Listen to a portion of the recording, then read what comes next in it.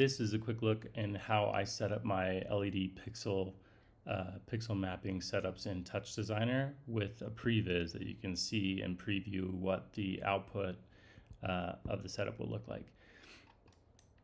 I start with my geometry of where my pixels exist. So in SOPs, in like a geometry, I'll either make an object with Blender or, you know, starting in Illustrator, I'll make an SVG, take it into Blender to make an OBJ object, uh, bring it in as a SOP to Touch Designer.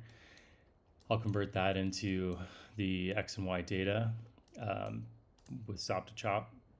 And then I'll go further and convert that into a top. And this is so that I can have a UV map um, that's in just red and green, the red and green values representing the X and Y values or the U and V values um, between, between zero and one.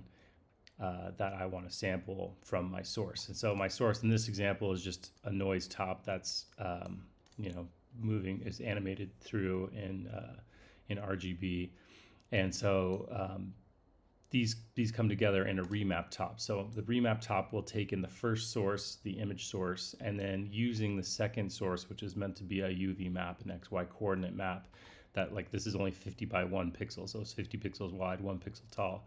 Um, but it's those 50 points where my LEDs are located in a zero to one uh, mapping. So um, it treats this as zero, you know, left to right, zero up and down. And so I pull from this image this this color, and I need to change this actually to um, to be RGB. So yeah, now I'm getting the correct RGB data showing in there. I convert that to uh, a top, so I have all my pixel data from my 50 pixels.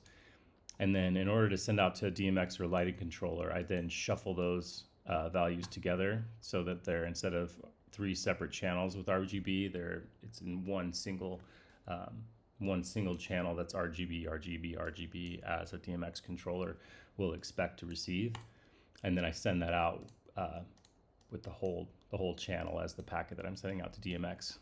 Here I've got a, a little instancing setup that previews what my my export will look like. So bringing in my my UV values as uh, my RGB values from the UV chop to show where my XY location of my instances are.